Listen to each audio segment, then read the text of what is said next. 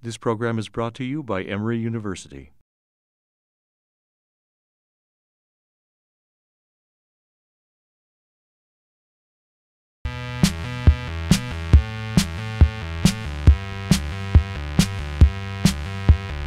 When I grew up, I watched a lot of like like cable so it was like a lot of SpongeBob and like pro wrestling actually. What the rock is cooking? Mariah Carey was like my inspiration. Old school like hip hop and uh, R&B. Everything is different because of social media. We can get our message out there to more people quicker. I listen to Britney Spears and the Backstreet Boys, of course. My parents way totally misunderstand my generation. My parents would say it's fast. I have tattoos and nose rings and stuff, and like she thinks we're just like the rejects. Eiffel 65, that was my first CD. I watched a lot of Golden Girls and Roseanne. I'm a big cartoon fan. I still watch cartoons. I watch SpongeBob almost every day. Social media for sure is the, I think the main thing that sets us apart. Privacy is gone on the internet. And it makes us very um, selfish in a way too. I feel like it's like always just about me, me, me, you know? People compromise their privacy because they put so much stuff on the internet. Everyone's like glued to their phones, you know, like people just get, they don't know how to human, like, to interact with people, you know? We have so many more outlets to be able to express ourselves and to be able to connect with each other. And I think that that makes us able to act on our own and have more of our own thoughts, but I also think it makes us more um, susceptible to conformity. Defining moments when the Spice Girls broke up. I'm just kidding. Um, don't put that on there. This just in, we have unconfirmed reports this morning that a plane has crashed into one of the towers of the World Trade Center. September 11th is probably the most memorable thing that happened um, in my lifetime. For my mom and dad, it was, you know, JFK and Martin Luther King. And I feel like this is kind of that cataclysmic event for this generation. I just remember watching the footage and seeing the entire country devastated. I became suddenly aware that there were all these other places that believed things differently than I did. I, Barack Hussein Obama, do solemnly swear I would have to say Obama being elected. preserve, protect, and defend the Constitution of the United States. So help me God. To me, when he was elected, it changed a lot of a lot of things. It's, it's not just you know a black kid can be a president or a black girl can be a president. It's anybody can be a president. Anybody can own a business. Anybody can do anything that, that they want to do. I think we kind of just have to work with what we got because that's how it is. Yeah, I mean, we can't go back in the past and change it. I think that they led a really good path for us, but I think that it's up to us. Our generation isn't misunderstood. I think really, uh, for the most part, we're the ones who are lost, trying to figure out like who we are. You can't really blame it on anyone. I think that this generation will make our own mistakes and leave the next generation with problems also. This generation will help the world be open, more open-minded. We're incredibly passionate, but I think we have very short attention spans. I think that we can get on board with things really quickly and get really fired up and talk about it a lot, and it lasts about a week to two weeks, and then it's over. I think we're moving towards um, a new era where we're going to fix these problems. I really, I really hope these important problems are going to be fixed. We are the next uh, leaders. We're the next uh, business owners, people who create, uh, destroy. That's all up to us. What are you clapping for? I haven't done anything yet. Uh, thank you all for coming. It's great to see you. My name is Ali Velshi. I'm CNN's chief business correspondent uh, and uh, an anchor, and I want to welcome you to CNN Dialogues. It's a partnership between CNN, the James Weldon Johnson Institute for the Study of Race and Difference at Emory University, and the National Center for Civil and Human Rights. This is a series of forums that's designed to shed light on issues that affect our community and define our times. Uh, tonight's uh, discussion is about the millennial generation. Uh, you might call it mostly old farts talking about those crazy kids. But we're, uh, we're talking about, some of you are, in fact, how many millennials do we have in this room? Wow, all right, you crazy kids. Um, and some of you, does anybody here who manages millennials? All right, okay, good. So we got, we got a bunch of things. You guys, there, you're not as good at it. Um, maybe by the end of the evening we can get a wave going or something. Um, you might know them as Generation Y, basically a, a group of people who are uh, born sometime between 1982 and into the early 2000s, a group of young people who are starting to enter the workforce and in, a, in the process are redefining the way we do business. Uh, as you saw in the opening video, uh, there are some preconceptions, which we, we're going to talk about tonight, but you might describe this young group as being hopeful, enthusiastic, and eager about the future. Uh, so tonight we're going to discuss how this group is translating its habits into advantageous workplace skills, and for those of you who are managers of millennials or hoping to be, how multiple generations can, can work together effectively and you can get the most out of each other. Uh, you are all part of this conversation. Uh, for those of you who are millennials, this won't be new to you, but during the discussion, we're actually welcoming you to do as the millennials sitting to your sides would do, and they would use social media. You can tweet us. What's a great excuse for me to be on my phone the whole time? Um, you can tweet us uh, at, at CNN Dialogues, at CNN Dialogues, or you can tweet me at Ali Velshi. And after we have a bit of our discussion, we're going to open up the floor to, to all of you for your questions and, and make them hard hitting. I, I actually tweeted, I've been tweeting all week that I'm going to do this, and I got a tweet. I, I needed to, I wanted to sort of reach out to some millennials, because I'm way too old to know any, um, about what life's like, what, what, what things they want to discuss. And somebody emailed me three hours ago and said, uh, Life as a millennial is frustrating because I work hard and I have all these older people telling me I'm entitled. So we're going, to talk, we're going to tackle that a little bit, this whole issue of entitlement. It strikes me that all of our parents probably said the same thing about us at some point, uh, or their, their generation. So we're going to talk a little bit about that. I want to introduce uh, a remarkable panel. I, I, have to tell you, uh, why, whatever reason brought you here, you are going to leave knowing a lot about uh, millennials and just sort of being better about, uh, about understanding their needs, hopefully. Uh, journalist Nadira Hira, who wrote the 2007 Fortune magazine cover story, You Raised Them, Now Manage Them, exploring how millennials will fit into the workforce. Nadira, welcome. Hi. Hi, guys. Demographer and historian Neil Howe, who actually coined the term millennial generation nearly two decades ago with his research partner.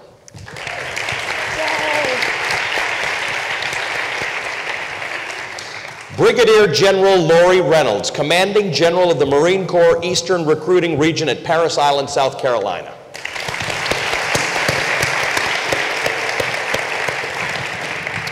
Author Dev Aujla, who interviewed hundreds of millennials for his book to explore how to find job opportunities that allow them to make a difference while earning money.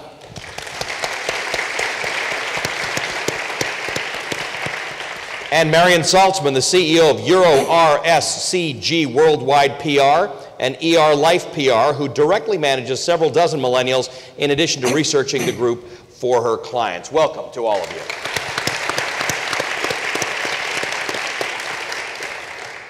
I have to admit, I, I, I enjoy this. Uh, it's part of my job to, to want to go out and, and, and, learn things sort of firsthand from people. Uh, and we've actually done a great deal of in-depth study at CNN about millennials. We've, we've created a series on millennials.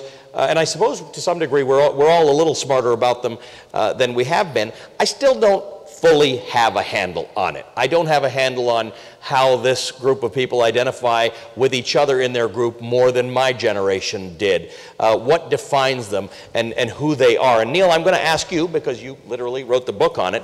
But, but I, you know, I want to give you a little flavor given that we're in the middle of an election cycle. Uh, my good friend Margaret Hoover, who is a uh, conservative commentator at CNN, has been, you know, she's written, written a book on millennials as well. And she's said uh, her her studies about this have said that they are overwhelmingly not Republican.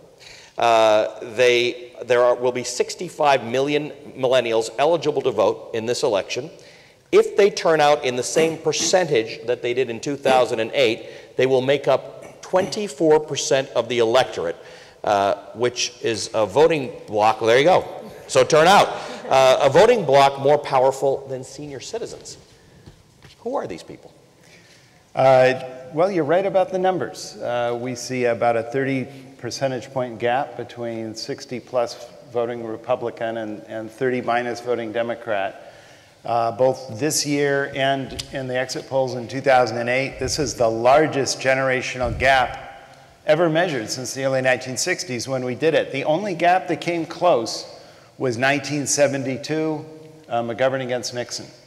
Uh, that, at that time, the under 30 generation were boomers. They almost broke even for Nixon, and Nixon, of course, vanquished every older age bracket. in the fourth largest you know, electoral margin in American history. I, why, why he went into Watergate, we'll never know. he didn't have to do it. Um, I, to understand millennials, you need to understand a generation's location in history. Every generation has it. You know, we all know the World War II generation that came of age with the, with the New Deal in World War II and, and, and the Great Depression. The silent generation who came of age in the 1950s, the American high boomers who were kids back then have no memory of, of, of, World War II. They came of age in the consciousness revolution, the, the huge social and cultural changes of the 60s and 70s. Generation X, born in the 60s and 70s, were the children of that era. They were the little kids of Woodstock, right? The little, little tykes. Uh, and they had probably the most wide open, underprotected uh, childhood of any generation born in the 20th century you know, dazed and confused, right? If you remember that. Um, and millennials are their location in history is they're the generation that came along after that, after that whole period of family and social experimentation was over. In the early 1980s, we were suddenly into baby on board stickers and family values and cocooning and, and suddenly child safety products. You did them with rubber bands and, and, and cellophane back in the 70s. Suddenly, these were all gadgets you could buy at big stores fathers present at the birth of their children. So enor- enormous changes occurred. Uh, and we predicted in our first book in 1991 that by the time millennials came of age, that they would hugely change uh, aggregate measures of behavior, that kids would become much more risk averse, they would become closer to their parents. I mean, now, at the time in 1991, everything about the youth culture was defined by Generation X. You know, everyone was into black and the murder rate was still going up and Kurt Cobain was still alive. No one predicted this, but we predicted this. These kids, once they moved into that new phase of life, would change what it meant to be a young person. And they have in civic engagement, for example, just to, you know, because you started out talking about the election. So that's, that's one difference right there. You get to, by the way, respond to all of this. So if you agree or disagree, or you want to be the one millennial who doesn't fit into any of this stuff, uh, please raise your hand uh, in a while. um, Dev, you have written that uh, millennials, let me just tell you a little bit about millennials for those of you who don't know. Uh, they are the most educated generation in history. They are the most racially diverse. Uh, they are in debt. Uh, they don't seem to like criticism very much. Um, and they have the urge to share and be connected through social media, which, which then uh, sort of ends up making them feel that borders are not as, as, as firm and as, as clear as they used to be. Uh, they like pushing change through social media and the use of online campaigns. Uh, Dev, let me ask you about this. You have written that the millennial generation need to do good in the world coincides with their need to make money. Yeah, I mean, it's one of those sort of, it's, it's not a trade off. You know, it's like my parents, and I guess the whole generation, but my parents in specifically, were like, you know, oh, you just need to get a job, and then, you know, you can become a philanthropist. And, you know, that's the way you do it, and you can, it's just going to work for you. And the truth is, it's like, I can't wait because I see, all, and this is the same with all the people we talked with, but, you know, you see this, that not, not paying off for people. You know, it's not paying off for our parents' generation. They're like, they can't get out. They can't just become philanthropists all of a sudden. And especially what was really exciting about like when I started writing this book and talking to people was that people are doing both right now. They aren't having to compromise between making money and doing good. And in fact, a lot of the jobs where they're actually getting hired are at that hybrid space.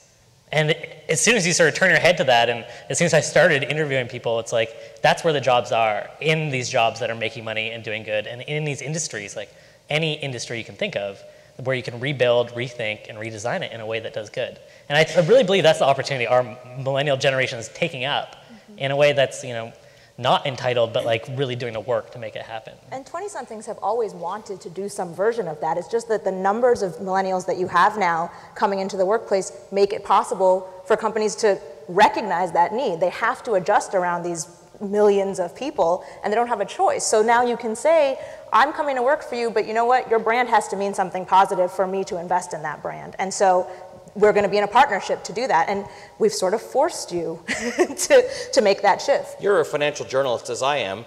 Why in a. I don't like labels, Ali. you happen to be sitting in the chair next to me. Um, why, in, a, in an environment like ours where there's high unemployment, do these kids get to call the shots? Well, you know, it's interesting. I think when we look at recessions traditionally, this is true of uh, corporate America, it is the time at which you can make the most risky decision and take the least flack for that. So, in, in, a, in a kind, of, kind of counterintuitive way, I think it's freed us as millennials to kind of do things that people don't expect because, yeah, my degree cost $200,000, but everybody's unemployed. So, if I want to go start a food truck in Manhattan, who's to say that's a bad idea? You know, and that, that is a reality. You actually have people who graduated with degrees from Yale and Stanford and Harvard running food trucks in the Lower East Side, and it's okay. Um, and so I think we're, we're allowed to do that in, in this environment in a way we haven't really been empowered to before. And by the way, our value systems are different. We've seen our parents commit so much time and energy and money to putting to creating a life for us and yet we don't necessarily see the, the, the payoffs of that the rewards and so we sort of want to we want to create some balance the other thing is too in the corporate world these are the most inexpensive employees we have. So we're going to prepare to take the greatest risk with them. And they are in the best position to change us change our values um, change how we work even what time we work. I mean one of the things that we've had to institute is for every week they want to give us back of their vacation time, we'll match it with a week to do social service. So there's no excuse for anybody in their 20s who works for us not to be out doing at least two weeks of social service a year because we give them too much vacation. They would at that point still have three weeks paid off, all the sick days they could need, and they can be off doing an important social service project for two weeks a year paid for by us.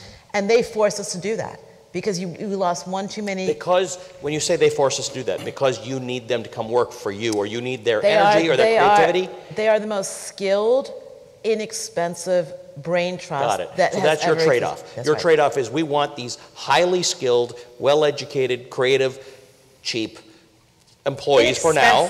Inexpensive. Inexpensive for now. And in order to get them, it's kind of like how Google needs to make a you know create a remarkable environment to work in in order to get the best engineers. You, that's your trade-off. You're giving them something. Uh, yes, absolutely. And, and and furthermore, we also know that because we're not paying them a lot, they'll churn through our employment or anybody else's employment. So we need to keep giving them that carrot. I know I can keep them for seven months if they can't do that social service thing for the first seven months. So I know I have them for nine months now. Retention is the key. It, right. Key it's all about creating an environment where they actually want to be part of the environment. Vote with their feet. General Reynolds, uh, I, am very pleased you're here because you, uh, you bring a perspective to this discussion that really didn't occur to me that the, the military has a remarkably uh, high proportion of millennials. Mm-hmm. Makes sense. Absolutely. That's the, the active time that you'd be serving, um, the Marines in particular. Right. Uh, how do these themes that we've just discussed fit in with your job? Because you, you, you recruit for the military, there's a certain amount of everybody's got to do the same stuff in the military. So, how do you blend these needs and these changes that are being called for by this generation with your recruitment needs? Well, well, actually, you know, the needs of this generation fit very nicely with the needs of the service, especially today. Um, and I can speak specifically for the Marine Corps. We're getting more technical um, so we satisfy that need that they have to, to, to take technology to its, its extremes. There's a lot of things in the DoD where we are driving technology. We sell that. But I think on the intangible part of what the service offers to these kids, um, they are very service oriented. Um, they are used to having that parental oversight that we can help them with. Um, they, they, they want to be stimulated, and we can help them with that as well. So there's a, there's a pretty close kinship with this generation. Um, and, um, you, know, DOD needs smarter, faster, sharper kids because of the way we operate. Um, you know, it's not uncommon at all um, in Afghanistan to see a young corporal who's got three years in the Marine Corps, alone and unafraid with his squad, taking care of business, dealing with the, the local chieftain, dealing, making decisions that impact all of us. And so you have to have an educated um, young man or woman to do that. Uh, Neil, give us a sense of, of um, you, you, made a comment, Nadira, about uh, kids in their 20s have always wanted to do certain things. How, how are how is this generation different in what they want to do? Uh, let's just address the, this entitlement issue. Are, are they, do, do, do earlier generations see this uh, generation as more entitled than a previous generation saw mine? Uh, well, uh, of course they're entitled. They've been special all their lives. That's part of the whole point, you know. That's why people had them. You know, they didn't, you know, millennials are the first generation that parents didn't have to have because it was no longer the conformist thing you had to do. You had to choose to have a millennial. In fact, we find one of the attributes about millennials is a much higher share of them were wanted at birth. Um, Look at that. Give yourselves a hand. You're all so special. Well, this actually has direct management implications because, for instance, a supervisor, a manager, uh, not a manager, why don't we just say a coach? okay, a nice word. Let's do this, a, a partner, okay, senior partner. Um, uh, can't say you're not very special. Now, that's what a lot of Xers in their 40s want to say to you. Right. But they, they quickly learn that that backfires in their face. Instead, they have to learn to harness specialness, which you can do. You say something like, You're all very special, and we expect special things from you, right? That's how you do it. So you harness the specialness. Um, you, you've got to harness some specialness in the eyes of their parents. Now, every institution that millennials have gone through, parents have been a problem. So for the last 12 years, according to the MetLife survey, parents are teachers' number one problem in K through 12. And now they've invented, you know, Edline and Blackboard and all these things to get the parents involved because the, the teachers just straight armed the parent. And of course, then the parent became their worst enemy, so they couldn't do that. So now they do all this stuff to big, and the same thing happened uh, in colleges now. They have these huge onboarding, you know, where they bring the parents in for two days, and all these boomers are, are, are clutching their teddy bears and crying and all that. And, and, and then they, they make them sign covenants and contracts now. We, we're, with you and I, we're raising this very special child. You keep doing these things, let us do these things, kind of gradually. It's like jujitsu. You don't stop parental energy, you just channel it, you know, around you. Uh, the same thing has happened in the military. I mean, look at uh, Erickson McCann, the phrase which has really caught on. Um, uh, you made them strong, we'll make them army strong. I mean, think about that. That's partner. They get it. They get the partnership. And now these kids are coming into the workplace. So what are they doing? They're calling their mom and dad on the cell phone all the time. Why do you think they're so interested in benefits at a young age? Because their mom and dad are telling Forget them, about you the know. cell to, phone. Mom and dad are supervising. You're supervising, but mom and dad are supervising on instant chat. Oftentimes, I'll find myself negotiating with someone and say, "Turn your dad off." And listen to me. And it's because their dad is such a damn good negotiator. I can't keep up with their dad. I can go. beat them. It's hopeless. Well, uh, General Reynolds, we've got uh, a slide up there, uh, which is the evolution. On the extreme left, you've got uh, the, the, the, you know, the poster we're all, the iconic poster of recruitment to the U.S. Army, and the evolution of, of recruitment into the service over time. Tell us a little bit about this. So, okay, so what, what you see as you move from left to right here is um, you're moving from just talking directly to that young man or woman to, thank you, Ali. Um, here at the end, we spend a whole lot more time talking to influencers for these young men and women. Um, I have about 1,500 recruiters up and down the East Coast, and we teach them to talk to parents.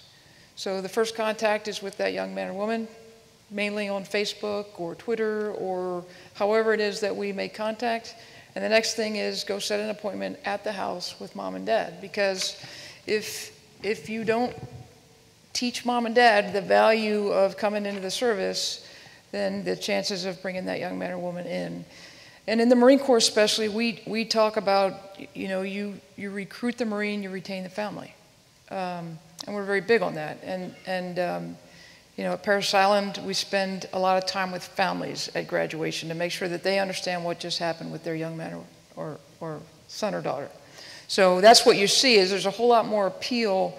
We have websites that are specifically to answer questions of families where you never would. I've, as a major, I recruited in Pennsylvania.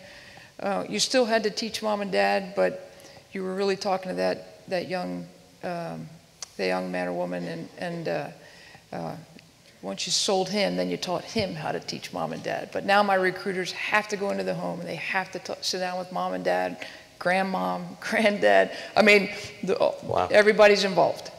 So- Nadir, uh, tell me about this special thing. This, this uh, being special, this management of entitled, the idea, as Neil said, that, that this generation has reason to feel special. How do you manage that? Well, well, it's interesting. I think the first thing to recognize is that parents are complicit in this problem. I often say the same person who is an indignant boomer boss in the office is an indulgent boomer parent at home. And you have to bridge that gap. They need to understand that they are the issue.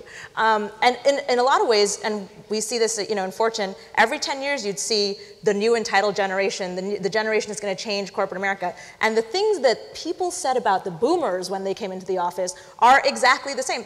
Boomers are the original navel gazers, I mean, in reality. So it's not, it's not surprising to see them come into this this role of parenting adults and feeling as though they are entitled to, to, speak to their children three times a day because maybe they pay the cell phone bill. Or, you know, you should really, you should be getting a raise. I'll call your boss and let him know that.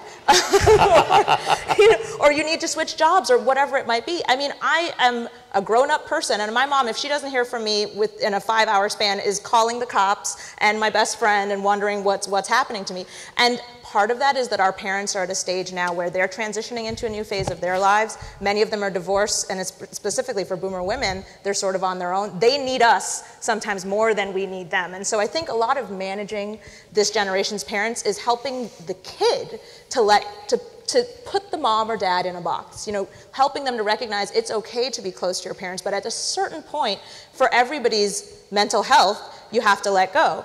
Um, and I think part of this will actually be when we start to have families. This generation has waited much longer, um, by and large, uh, to have to have families to raise kids. And when you, when I think as a parent, you look at your young person and they're a parent themselves, perhaps that starts to shift the perspective. But to the extent that's not that's not the case, our parents are a huge pain. I, I, think, I think actually you, you, you also employ another strategy, which is not to fight it, but use it. I mean, the parents are close to them, so use the parents. As, as General Um, Reynolds was just saying. Well, for, well. yeah, for example, uh, the, the New York Stock Exchange has a very interesting uh, uh, introduction program when they bring in a new employee who's in their early 20s. They have a half day where they bring the parent down with the kid, they take them through everything in the stock exchange, show how wonderful this place is to work, and by the end of the interview, the parent is turning to the kid, don't mess this up, okay? So you, you, in other words, you enlist them. So I'm telling employers, have a bring your parent to work week. That's They're calling their parents every day anyway, make them part of the circuit. That you see, in other words, embrace it, don't fight it. And I think that you are going to find over time parents having a very different relationship. And you know what? And what's wrong with this, by the way? Uh, you have a lot more millennials living at home. What's wrong with that? We have a hundred trillion dollars in unfunded Social Security and Medicare liabilities. And if there's one way we can alleviate that burden a little bit, it would be generations who are closer to each other, mm-hmm. living near each other, mm-hmm. living with each other. So I, I regard this as not failure to launch, but a healthy thing. But I think the challenge is how we grow up out of that. As an employer and as a manager, it's great to use parents, but I think as a millennial myself, the challenge I face now is how to start to build some space, some, some space within which I can mature and grow up and learn some of these lessons and how to help my mom transition through that as well. Marian? Yeah, another aspect of this, and I think you touched on it, is adolescence is just lasting at least a decade longer. So people are coming out of college and university, and they still are really young because why should they rush to be old? Because let's face it, given the state of the economy, we're all going to be working to our 70s, 80s, maybe longer. So your 20s is maybe a disposable decade. So why do you owe it to me to treat me like I'm a meaningful employer when I might be the way I treated those babysitting jobs I had back in my team? So I think that we need to think about it very, very differently. I never hear a young woman, and, and we employ 60 odd people, mostly female, under the age of 20, talking about having a baby yet. In fact, there would be a real taboo if you propose that until you were really into your early 30s. And I think that people are just doing things later. And so this decade might be all about experimentation. So different relationship with the parents. They're more like the parents that are letting you go babysit, taking their car. Mm-hmm. They're, they're getting married later, but they're not having kids much later. A, you know, let's, let's, you know. Dev? Uh, marriage today for millennials is something you do after you're successful. Whereas for us, it was something you did at the very beginning of a career, but when you had no success, it was a foundation for life. Now, not necessarily having kids, but getting married is something when you've actually established yourself professionally. Jeff? You know, I, like there's this this idea that we're emerging adults or like that we're forever adolescents. Like, it really bugs me in some way because I don't think that's true. Like, I really just don't think that's true. And here's why. Here's like what we're doing and how we're building our careers looks really different mm-hmm. than the way our parents built our careers. And ju- that difference is not called emerging adulthood.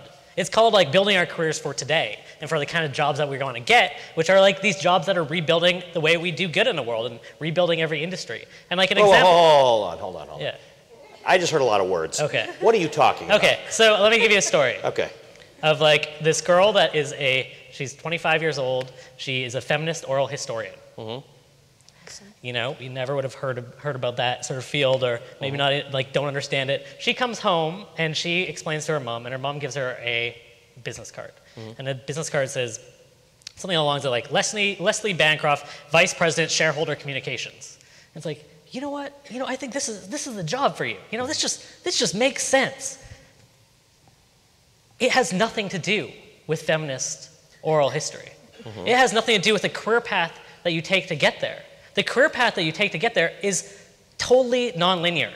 You know, you're going to be taking an internship. You're going to be working at a company where you can learn something, real skill that's going to feed that broader mission. You're going to be going from like traveling abroad experience may actually be that skill that you picked up doing that may actually be what enables you to get that job. Let, us this is interesting, and this is, I want to push a little bit on this, and, and everybody will have something to say about this. Let's just understand this. We have not changed the needs of our workforce all that much that this loosey goosey stuff you're talking about is going to work for everybody. I, I get that that's cool and that it may be more acceptable to do it, and there may be better support mechanisms around there. But we actually, we've, we've definitely evolved from a society where we made physical capital and sold it and exported it into a society where we need uh, human capital, and that's the, the, the service, the military service understands that. But we haven't evolved into a society where everybody can just do whatever they want and expect to have a career out of it. No, but here's here's the deal. It's like so people are uh, like applying for jobs, Right. and there are other applying for jobs out there like I have all mission. I just want to do good and Yeah. like hire me, but they have no skills. Right. Or there's a lot of people that are applying for jobs that are like I don't want to sell toothpaste no more, but I want to do a good, but they have no mission. Right. You know, so what we're seeing is where people are learning those skills Mm-hmm.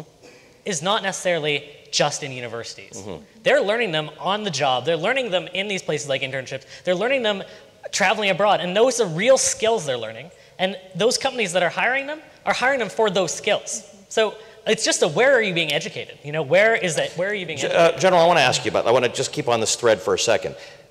Does that apply to the, the military too? I think absolutely. I, I um, you know, w- once you bring them into the service, and, and so I have a couple hats. I have the recruiting set hat, and then I also have the recruit depot set, which is the 12 and a half weeks at Parris Island where we give them a whole lot of tough love.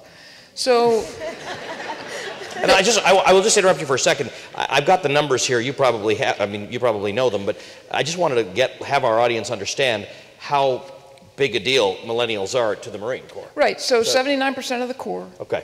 is, is 79%.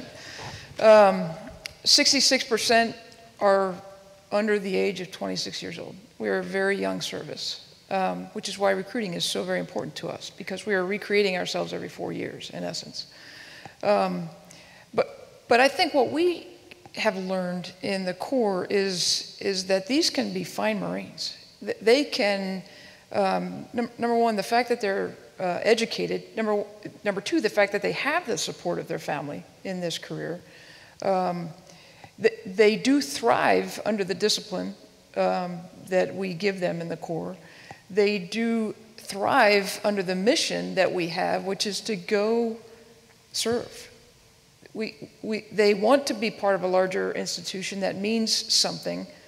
That's what we do. The Eagle Globe and Anchor, that's an iconic, uh, they, they, they, they are coming to see us about that. So there's a whole lot good about this generation, and, and they can be disciplined and they can be hardworking, and, uh, and you know, they're making a huge difference out there for us. Neil, we, we talked about something backstage um, where uh, when I tweeted earlier in the week that we're having this session, this dialogue on managing millennials, I got somebody who tweeted back and said, Managing is Orwellian and authoritative. I don't like the word. um, and I, I sort of brought that to you, uh, and I was, I was actually a little surprised by your reaction. You don't seem to like the word either. Well, I, I was earlier I said let's talk about coaches or partners, right? Right, right but to, implicitly I was trying that means you think that we should, we, should, we should buy into the idea that managing is not the right thing. Look, I don't, I don't think I don't think people are going to care all that much about a word. Uh, you know, call it what you want. You can call it a supervisor. You can call it someone in charge, someone who has to make the decisions. Uh, but they, how, whatever they do, they have to understand what this, you know, what this generation is about.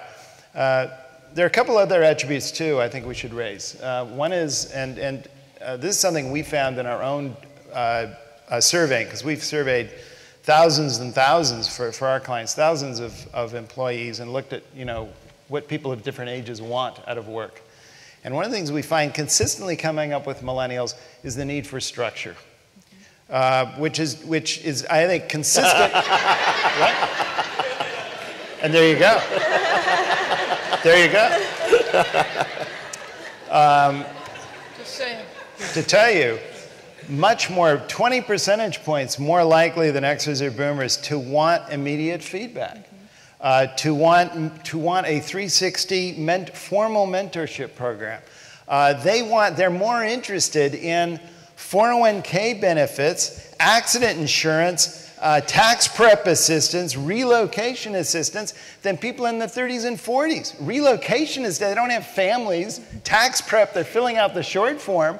But my, my point is, is that they, although they objectively have less demand for these services, so what you're going to see in a way is the emergence of the in loco parentis employer, who is going to put a lot more emphasis on benefits than Xers who cashed all the benefits out. Xers are free agents. They wanted to do what they wanted themselves with the cash.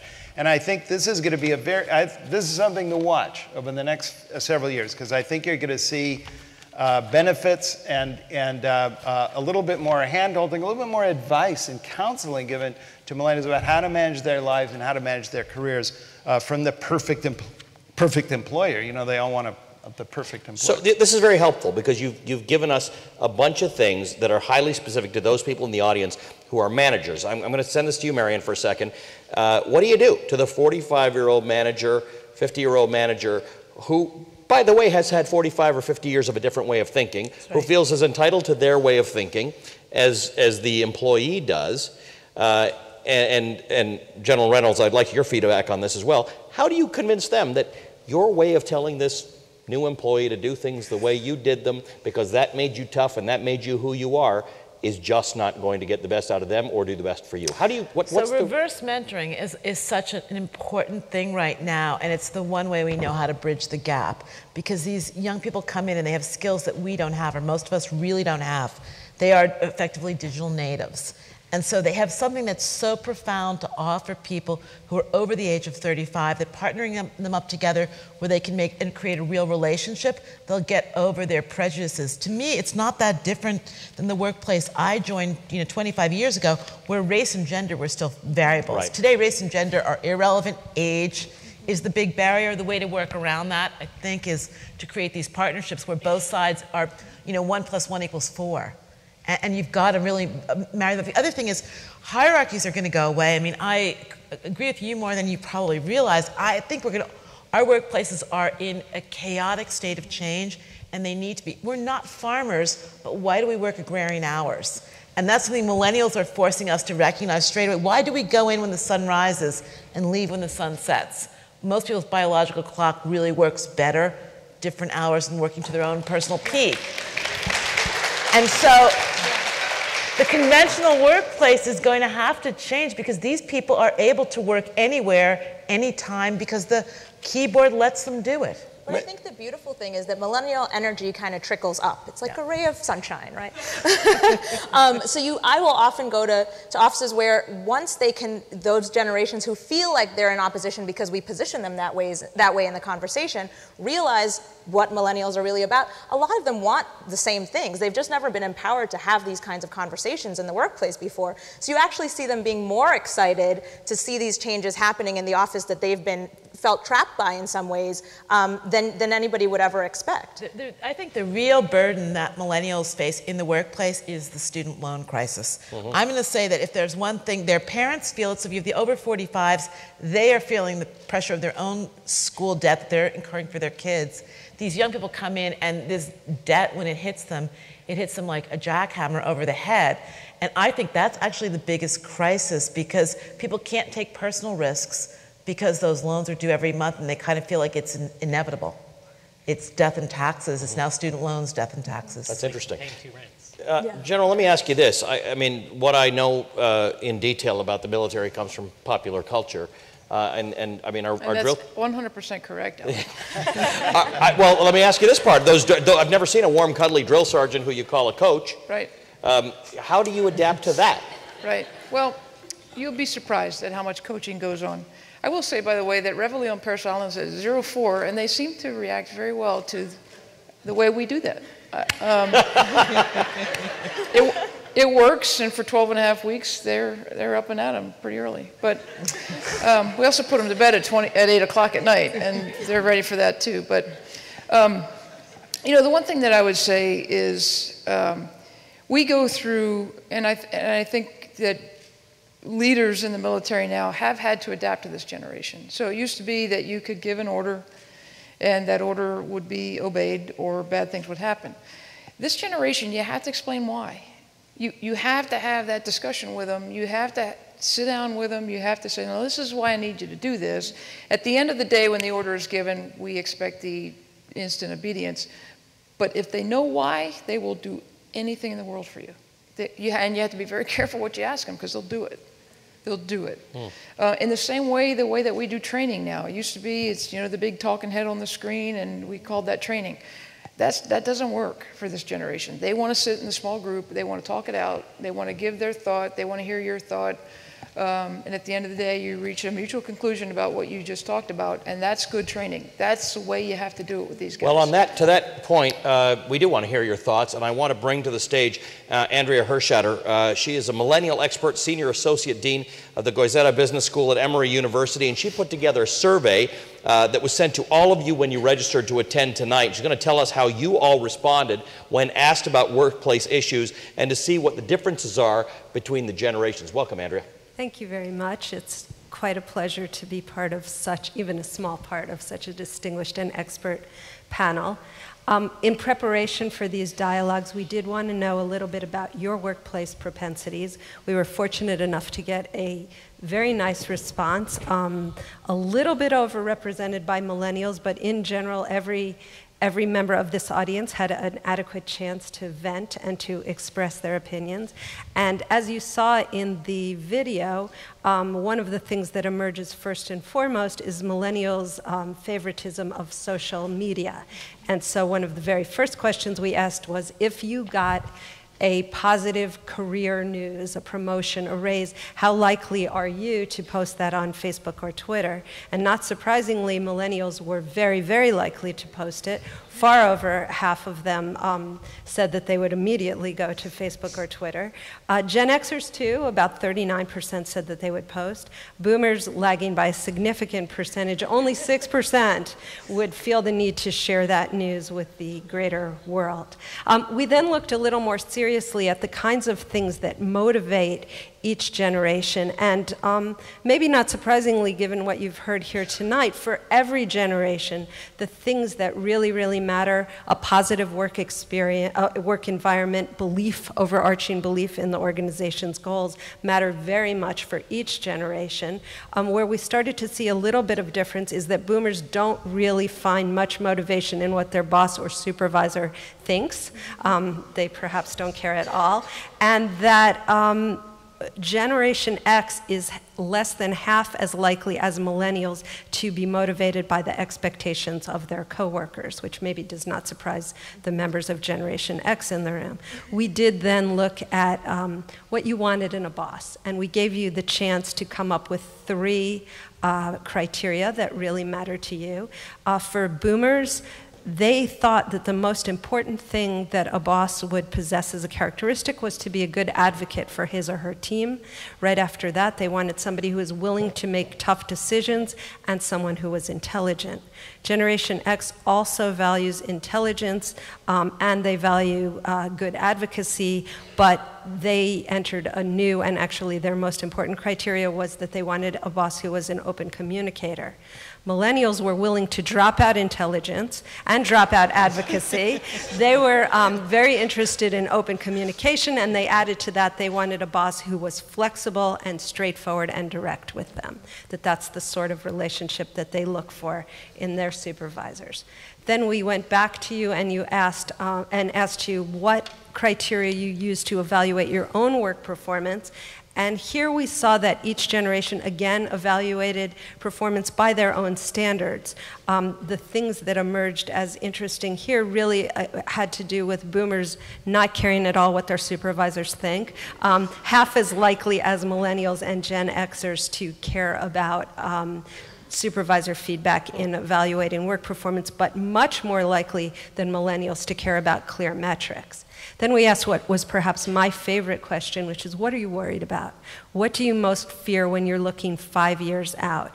Boomers had a very uh, quick answer to that. They most fear not feeling intellectually challenged or stimulated.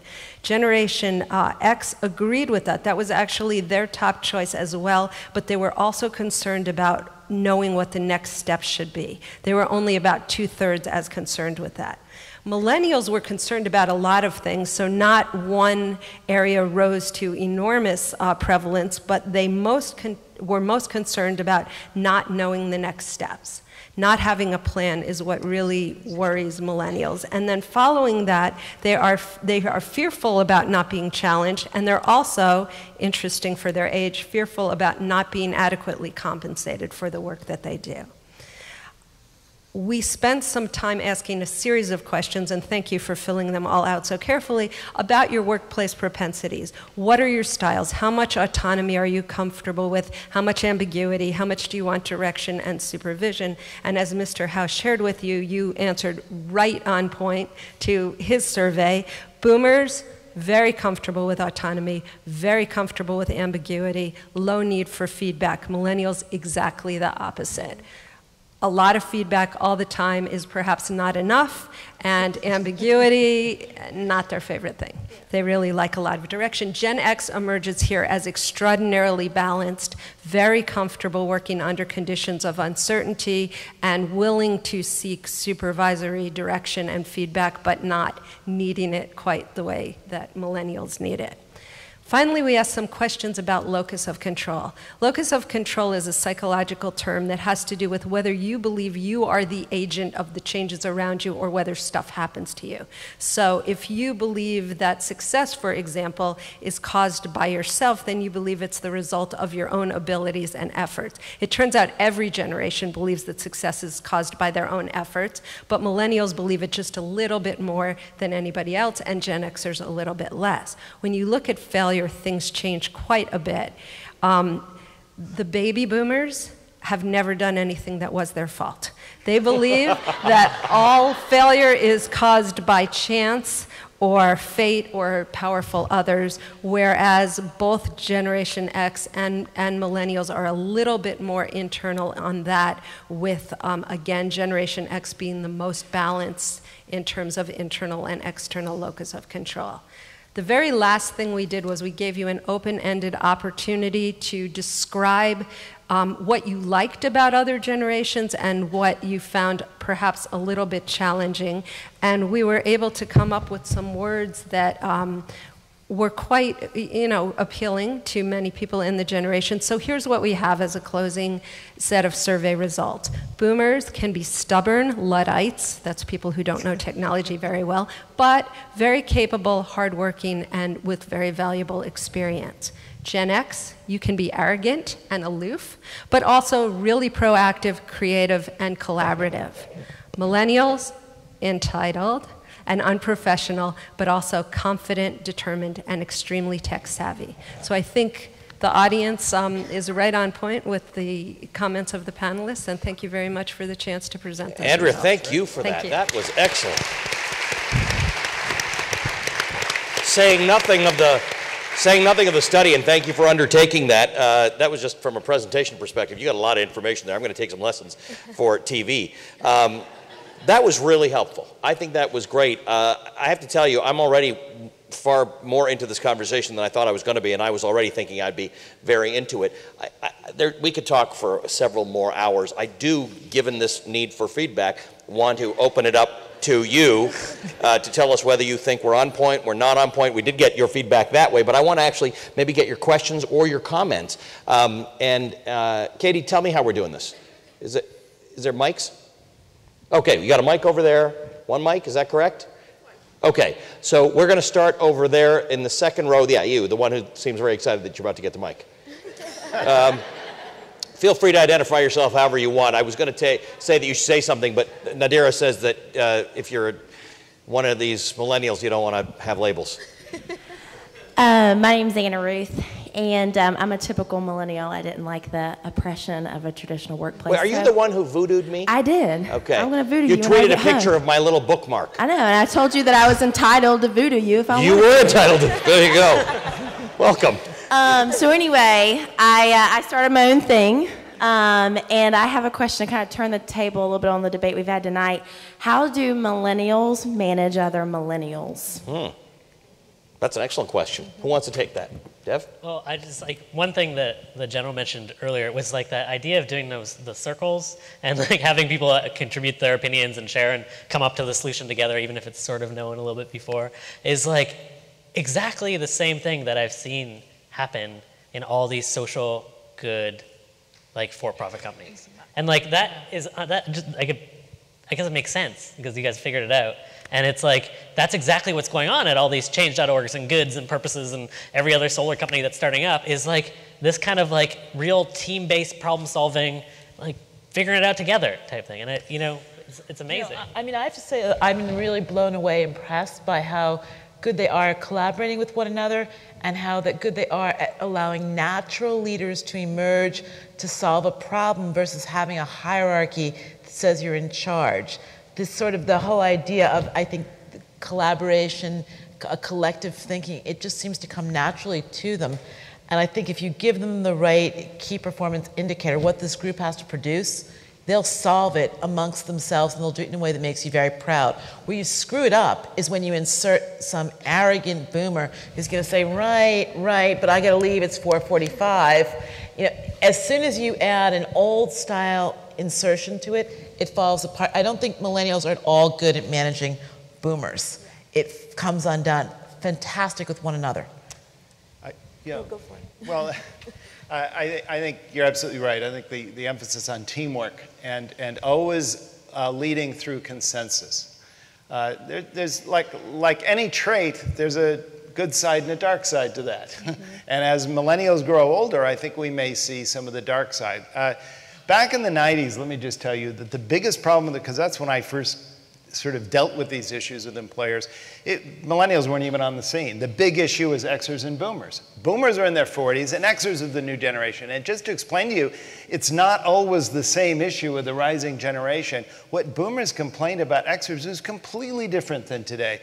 We complained that these were uh, edgy free agents, mercenaries, always out for themselves. We never complained about they felt entitled. I mean, they were like feral. There's like animals out there, you know. But the idea they were entitled, no one ever thought of Xers that way, you know. We just didn't want to meet them in a dark alley. but so it was a very different kind of generation, and, and they wanted to go their own, that kind of individualism that came out actually in this survey.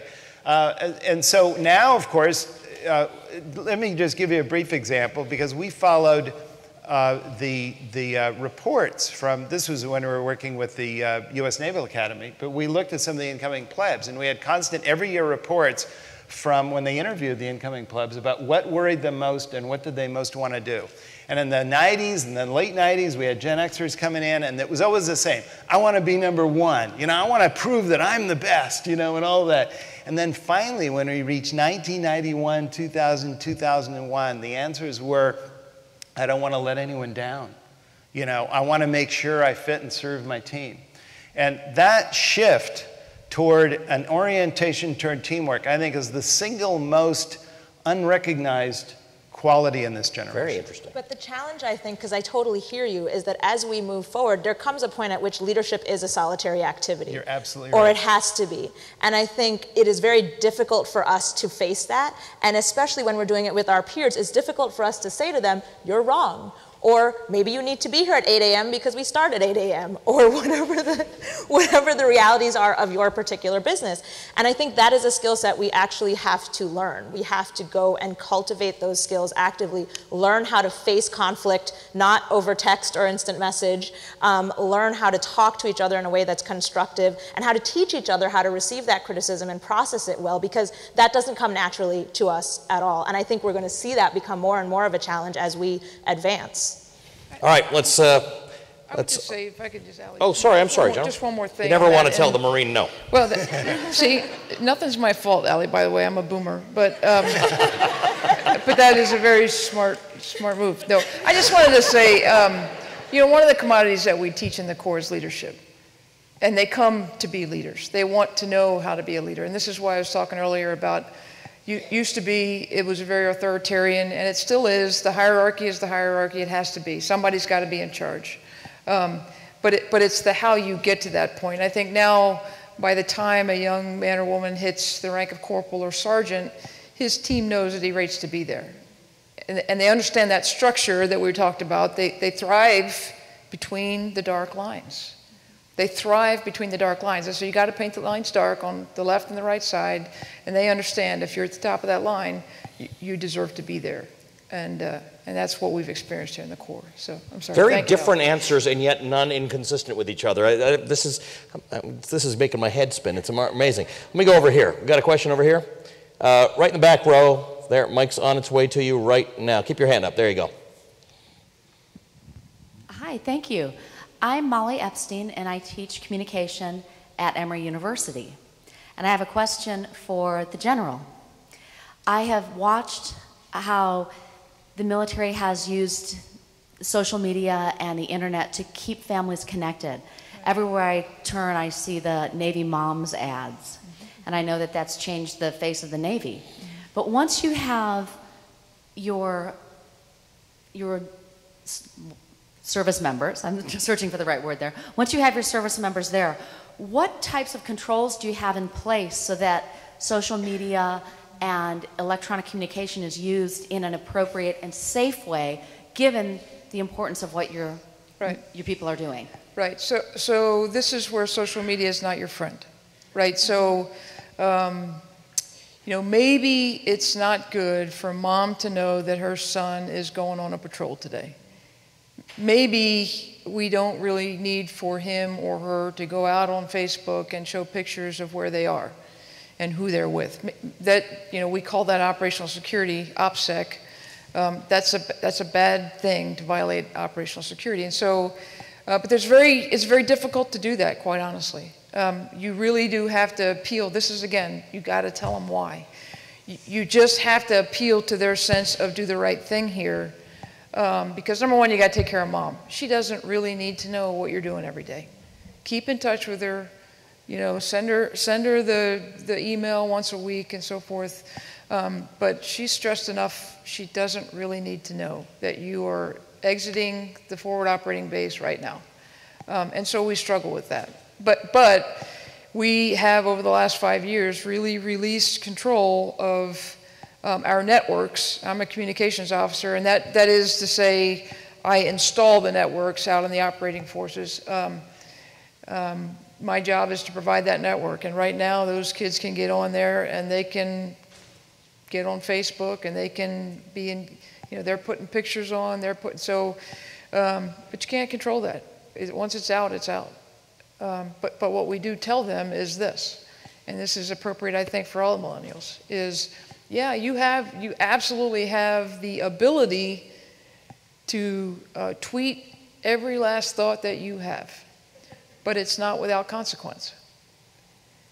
Um, and if you remember the last part of that, then maybe that stops you from having diarrhea of the brain. Um, All right, right in the middle, third row, right. Yeah, you, sir. There you go. Yeah, keep your hand up so the mic knows where to go. There you go.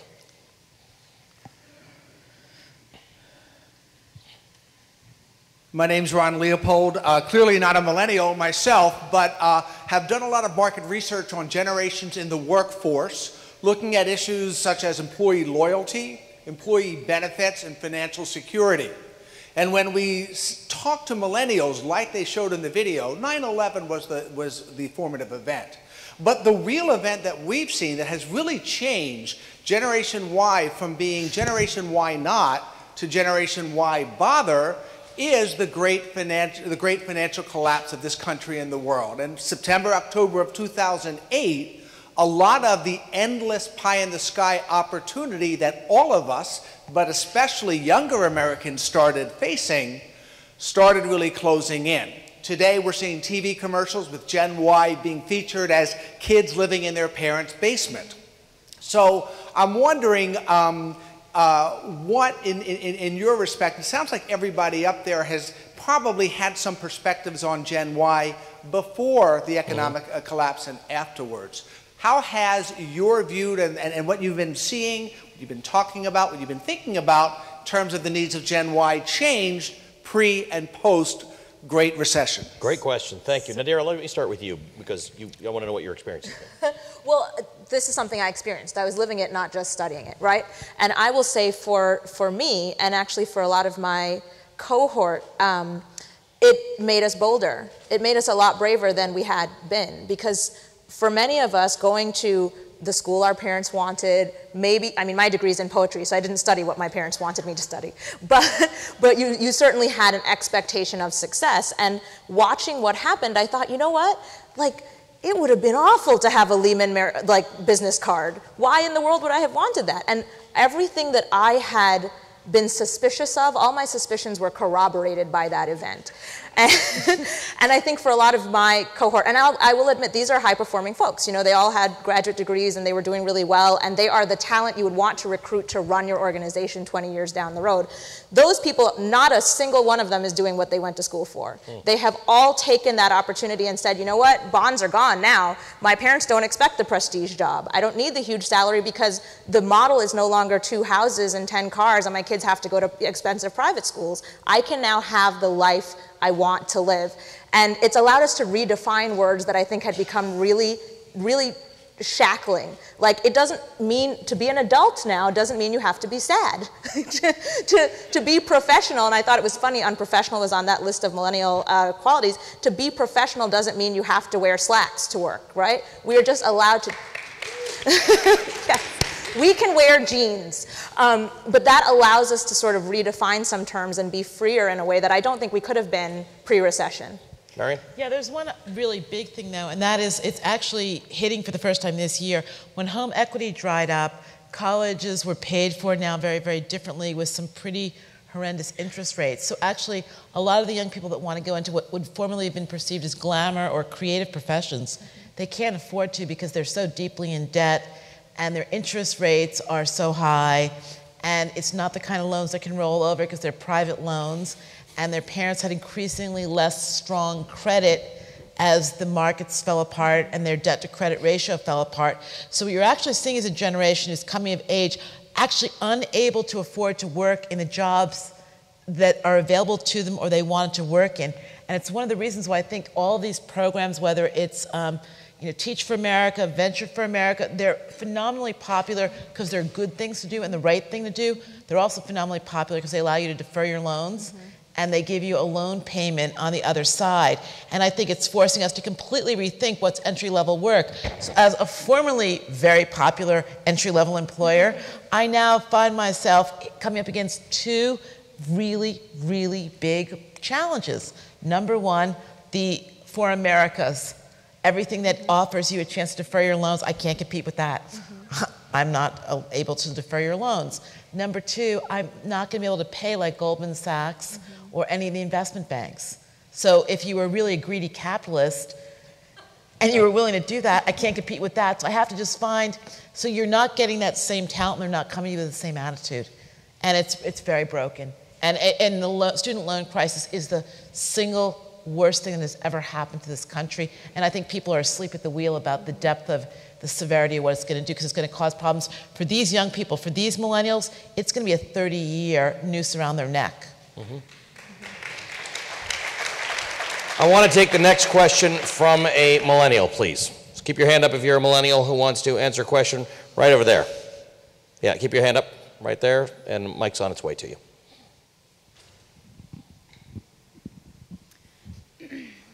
I've uh, heard twice in this discussion this um, air of surprise that millennials want things like benefits or maybe compensation for running these corporate companies from the ground up.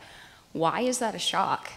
I, I mean, we feel like we're entitled because we deserve it. I mean, I've been in school. I know, he said that. I know, but I'm like, I'm not special because I, I pine for my youth, and I don't live with my parents because I pine for my youth. I live with my parents because I don't have a job. Like, and she's right. You're absolutely right. Like the student loan crisis is huge, but I could pay off my student loans if I could just get a job. I don't know. Maybe that wasn't a question. It's okay. We don't need. it, it's, it doesn't need to be a question. Uh, Neil, talk to us about that. Um, well, it, it's interesting why millennials live with their parents. Uh, uh, it's, it's actually many things, and this was a trend we noticed actually long before the financial meltdown of 2008. Uh, that simply accelerated a trend that was already underway. The fact is, millennials, as late teens and 20 somethings, get along better with their parents, according to surveys, than any generation of young people we've seen, and vastly better than in the late 60s and early 70s, when something like half of all boomer youth really hated their parents. I mean, they wanted to get out of the home. I mean, we counted the days until we'd have our driver's license, and we counted the days in which we could move out. And uh, if they didn't move out first and go to Sun City, you know what I mean? I mean, that, that was the. So, so a very different relationship. For the first time, we are seeing uh, millennials who finally get good paying full time jobs continue to live with their parents because financially it makes sense. So, so the, in other words, it's not just the economy. We don't just want to, it's like they're being driven solely by, by money. Um, uh, and, and, and, um, uh, the entitlement question is, the, is the entitlement Yeah, question I- I about benefits. you were saying you- well, why- why are we Yeah, surprised? it surprised? It's, it's, here's the surprise. Uh, it's not that you're getting the value from the employer, it's that you want them as benefits. Generation X spent 15, 20 years cashing everything out into these total rewards plans. They did not want their employer to be uh, to be uh, a paternalistic, you know, deciding what they want to do. They were free agents. If they wanted to retire, if they wanted to move, they were going to spend the money their own way. So it's not that you're not getting the money, you get the money either way.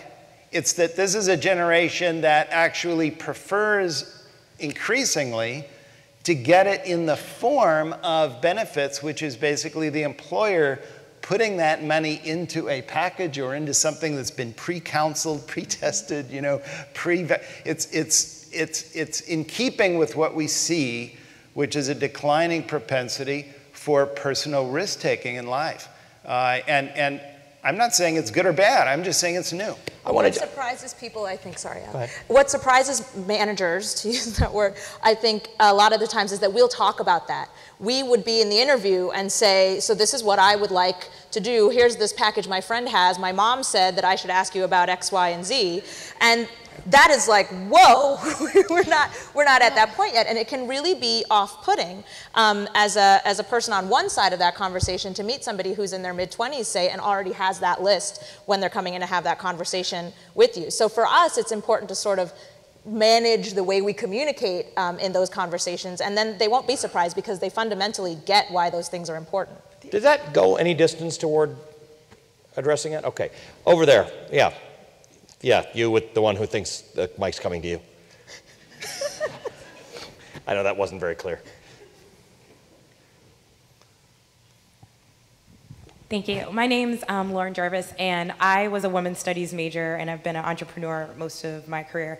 And my question slash comment is: Do you think that it's more that not so much millennials, we feel entitled or we think we can do anything, but we're kind of shifting from a goal-based ex existence to an experience-based one. And I ask that because before I started my company, I definitely had several jobs, and I feel like the lesson from this great recession is that there is no such thing as job security, so why should I go give my life to a company? Mm-hmm. Very interesting question. Thank you, Dev. Yeah, I mean, I really believe it's sort of like the way that we're building our lives is we're taking one, we're going and taking a job because we want to learn something from there and have that experience and we want to parlay that into the next thing. And like, you know, it's this constant like bouncing around that becomes like our nonlinear career paths that end up in a place. And we don't have that myth, you know, we don't have the myth that that's going to pay off. That's why I feel like we feel so uncertain about everything is because that non, we don't have a myth telling us like, okay, go to law school, come out, this is what your life's going to look like. You're going to be able to do X, Y, Z. And if we're like take position, taking this path where we're taking different experiences and bouncing around, and you know, there's not that same myth being like it's going to be okay. But you know what I found when I started doing these interviews and you know seeing all these people that are actually pursuing a nonlinear career path is like realizing you're on it, mm-hmm. and you're in the middle of it mm-hmm. right now, and that it actually does pay off. Like it actually turns into jobs and careers for us. But it just looks a lot different, and we don't have that story that makes us feel okay going through it. And I feel like that's why we feel so unknown or so in the wilderness right. at these moments. You don't realize you're on that the journey's yeah. that we're already there. We're already in the middle of it all. Like, General, let me ask you this though, because uh, you were saying you, you turn over a lot, and obviously you've got a, a, a young service. So so not everybody's coming in to the service thinking they're going to retire right. uh, 40 years down the road. Right. So, so one of the things that we talk about when we recruit young men and women is um, is that life after the Marine Corps. I mean, we talk to them about that when we before we bring them in. Um, one of the things that we say in the Marine Corps is that we want to return better citizens at the end of that enlistment, whether they stay for four years or 24. Um, the, the benefits, again, of a four-year enlistment in the United States Marine Corps are both tangible and intangible.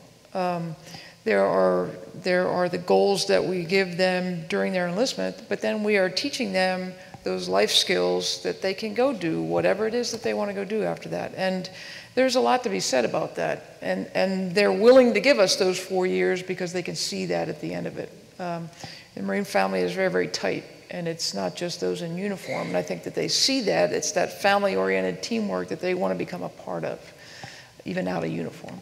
But I think there's a real opportunity here for managers because experience is the goal. And sometimes companies get stuck into this idea of you don't want to work at a company for 30 years, so we won't try at all. And the reality is, the way enterprises are set up right now, I could work under the banner of one brand for 30 years and have a different job every two or three years. I was just going to say, I was just going to say, I think yeah. that's really the new normal that people yeah. are striving for.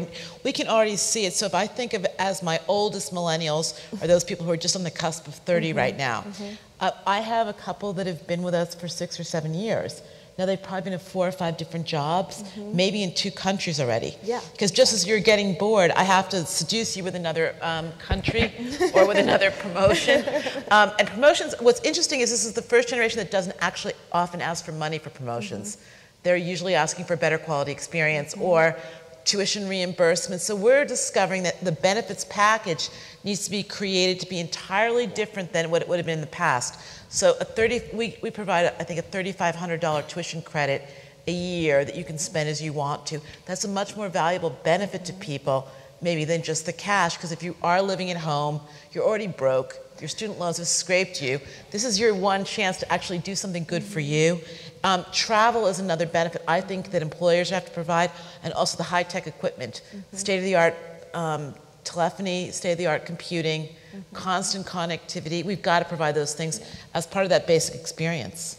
Let me ask, before we take the next question, I want to ask if there are any millennials in the room who uh, have an experience or characterization of themselves that they think is different from what they've heard tonight. Is there anybody dying to say, you're not really, we haven't hit on something? Gentleman over there in the white shirt, keep your hand up. We're bringing a mic to you right now.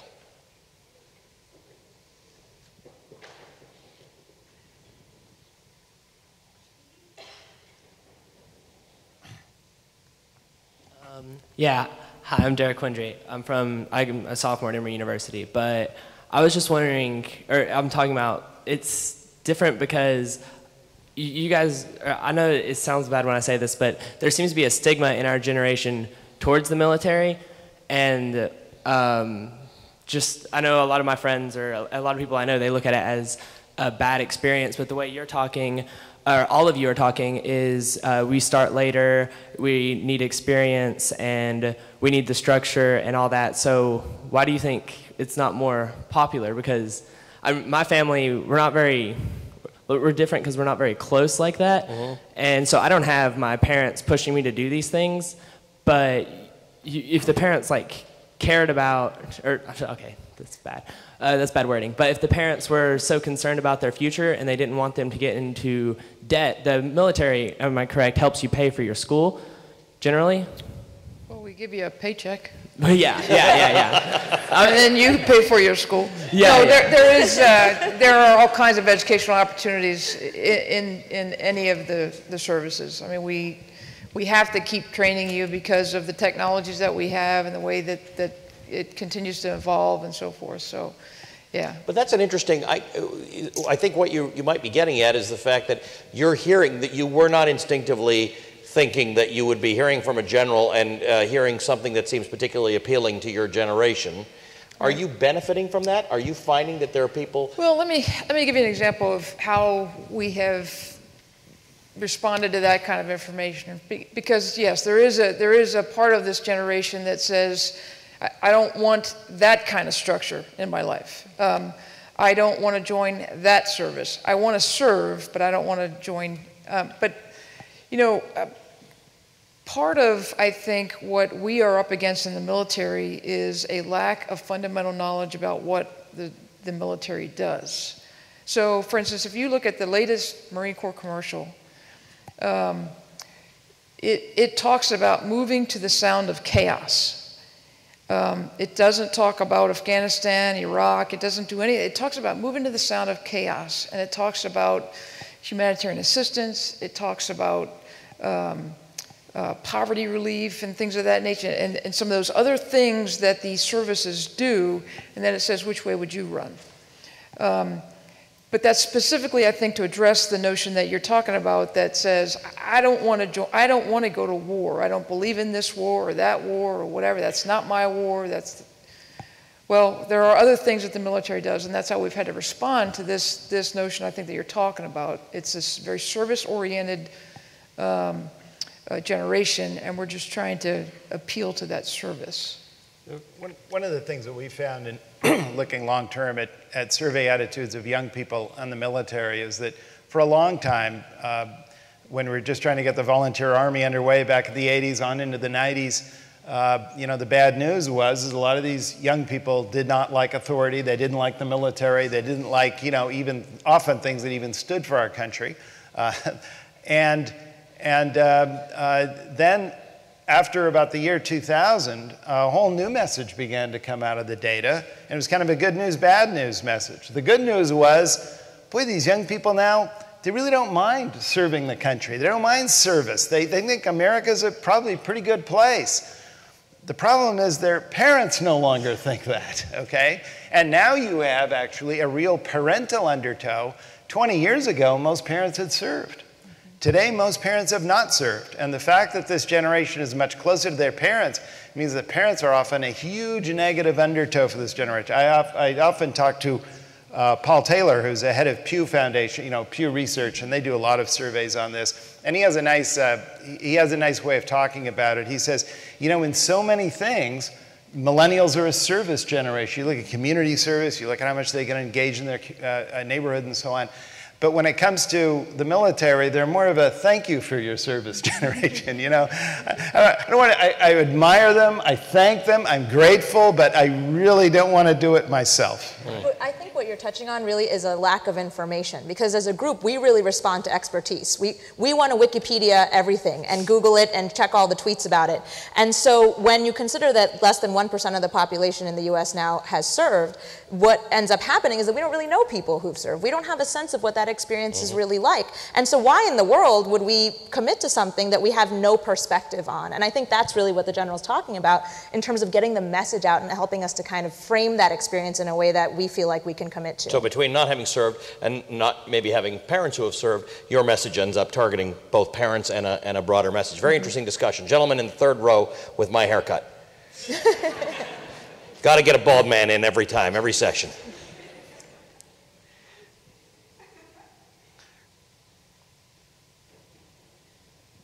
My name's Courtney, and Ali, I wanted to address, I think, your question more You're directly. a much taller, more handsome bald man now that you're standing up, but go ahead. Uh, I wanted to address your question a little bit more directly. I think when you talk about people that are in the millennium generation that uh, feel like they're different, um, I definitely feel like you guys have hit on the mark of with your with your research. Obviously, is is definitely founded on good grounds.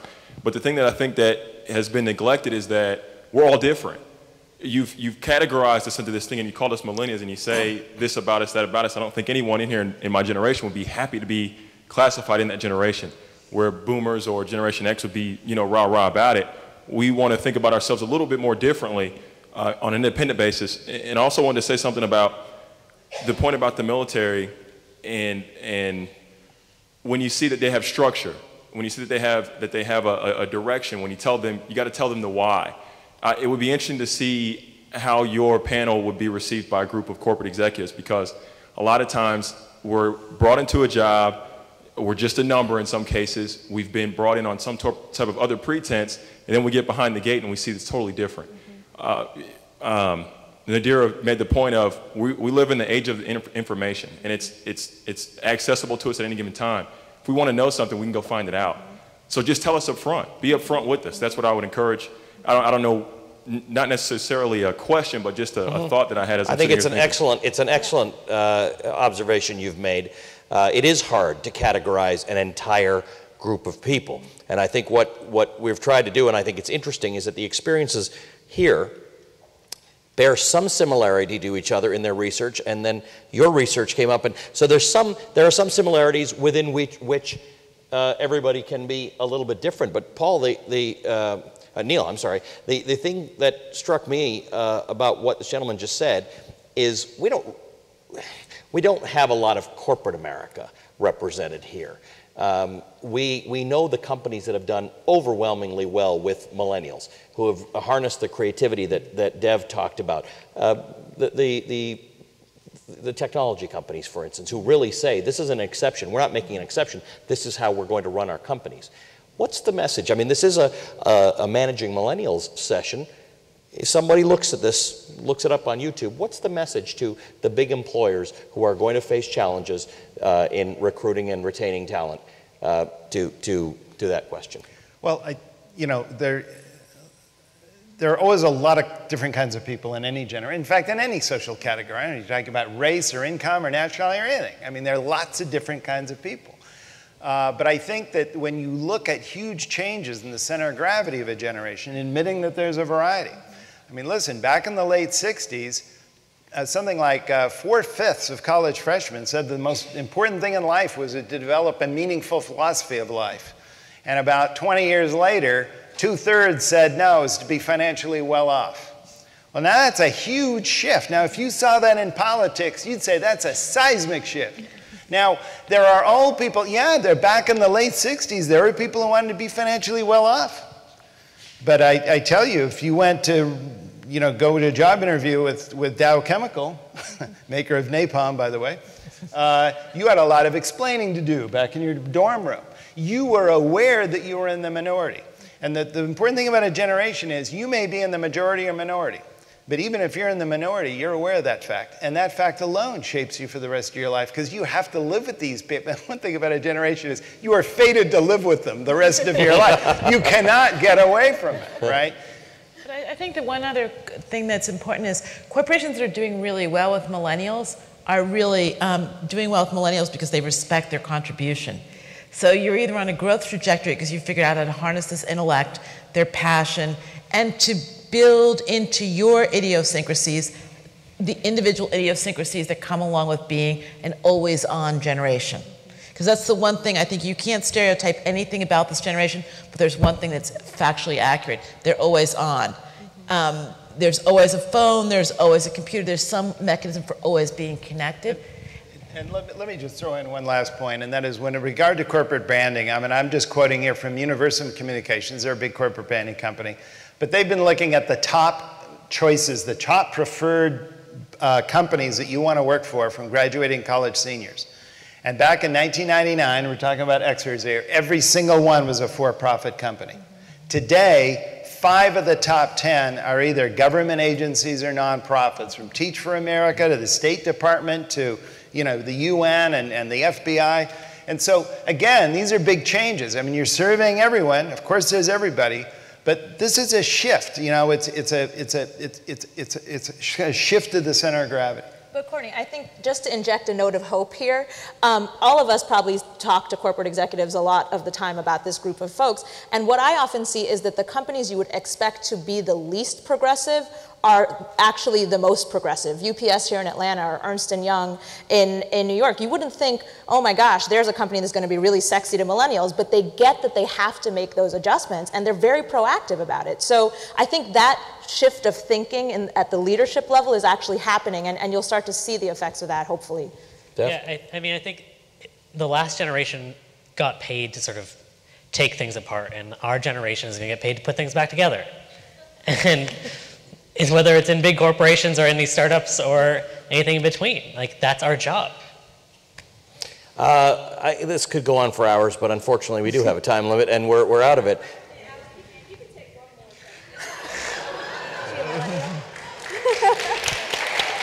You don't say no to the millennials or the Marines. Okay, this is, a, this is really the last question. It's going to be a good one, all right.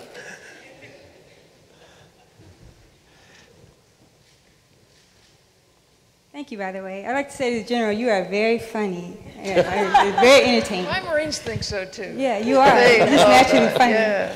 Um, my question is, my sister and I started a magazine um, not too long ago.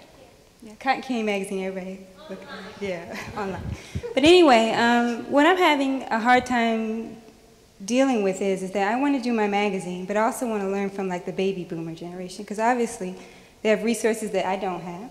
I would like them to invest in my magazine, and I would also like to learn, you know, what they know. But I'm having a hard time dealing with um, them understanding me balancing my business and working for them at the same time. I feel like they feel somewhat intimidated. So even if I say I do want to work for you, but I don't want to give up what I'm doing over here, I find them intimidated, and which is odd to me that someone who's 25, 30 years my senior would be intimidated with something of mine that's really in the fledgling stages. So how do I get them not to be intimidated, to invest in me, to hire me, or to invest in my business?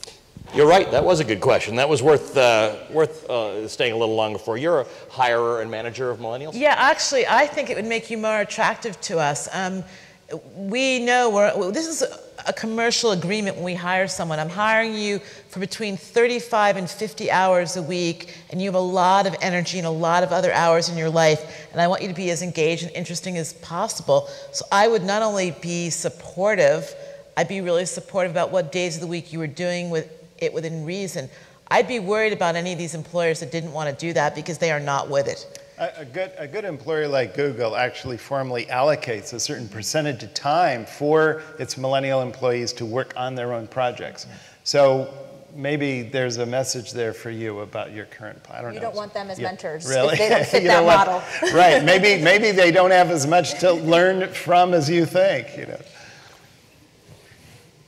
I know, General, you're not going to be letting people run businesses on the side while they're in the service, so we'll skip you. Um, Not, not, not anytime soon. all right, uh, that was very good. Thank you for that. Uh, this is a, a- a strange situation I'm in, in that A, I don't want it to end, uh, and B, I, I don't know who to thank more our remarkable panelists, or the, the sponsors and partners who brought this together, or you for your remarkable engagement in this. So, a round of applause for everybody.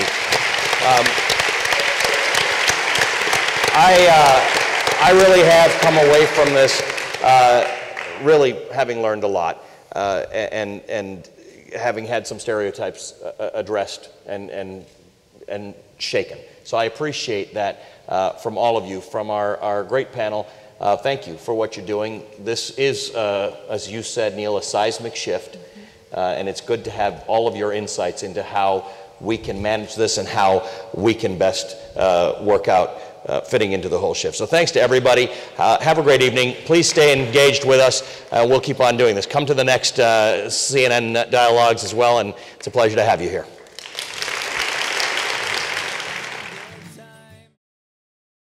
The preceding program is copyrighted by Emory University.